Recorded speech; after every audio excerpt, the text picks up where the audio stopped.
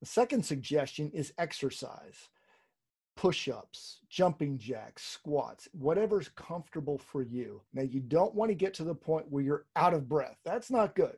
Wouldn't be good to get up on stage and kind of bend over and, hey, I'll be with you in just a minute. Just got to get kind of had a great exercise before I came on stage or came here on camera. You don't want to do that. You want to exercise just enough to burn off some of that nervous energy